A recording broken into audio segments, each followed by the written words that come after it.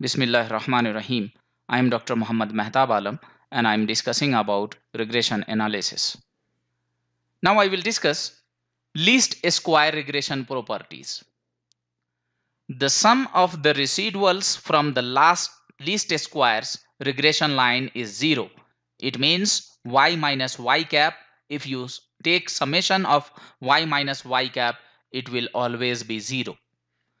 The sum of the squared residual is a minimum, minimized y minus y cap whole square.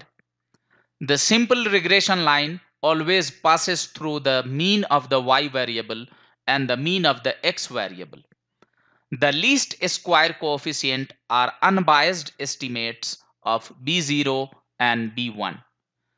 Explained and unexplained variation. Total variation is made up of two parts.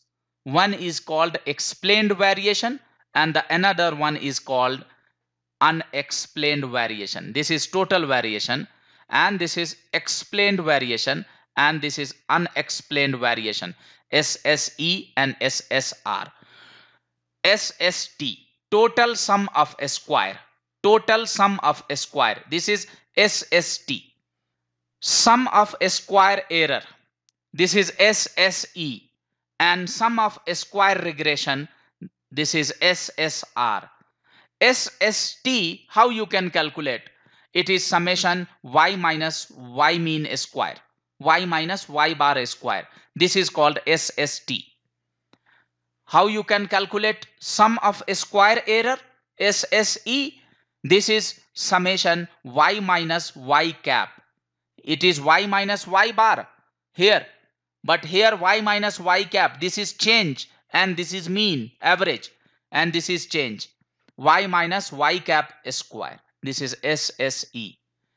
And SSR, it is summation y cap minus y bar whole square. y bar average value of the dependent variable y observed value of the dependent variable while y cap is estimated value of y for the given value of x. SST total sum of square measure the variation of y value around their mean y. SSE error sum of square variation attributable to factors other than the relationship between x and y.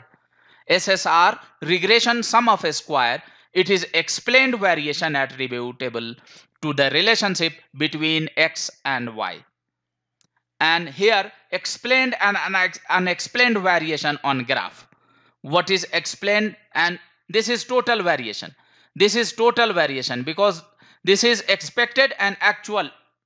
So this is total variation. This is called total variation. And what is uh, uh, what is you can say um, um, explained and what is unexplained.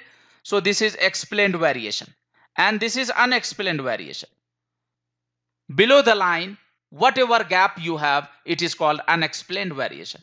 And below the above, below the regression, above the regression line, whatever gap you have is called un, eh, it's called explained variation. So just remember these total variation, explained variation and unexplained variation through the graph.